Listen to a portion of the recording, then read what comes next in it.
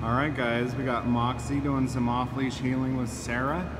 So Sarah is, really good teaching dogs to uh, to get off leash. So, so that's a skill.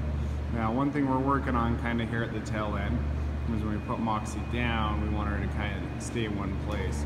So typically with dogs that are just a little teeny bit insecure, they don't they don't really want to down away from you. They prefer to down near near you. So so we're working on adding distance along with the duration and the distraction to her down.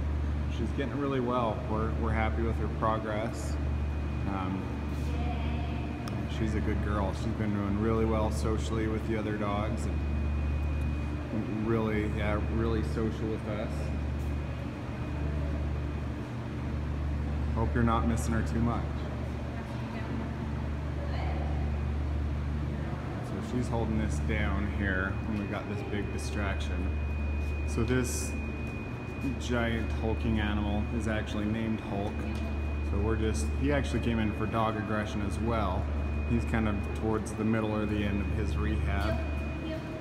So he's a work in progress, but looks like he's a little afraid of Moxi. I don't know if you caught that in his body language.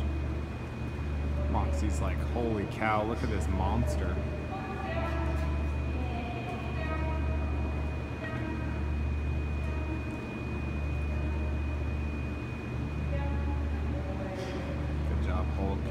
He's holding on to more baggage than she is. That's good to see.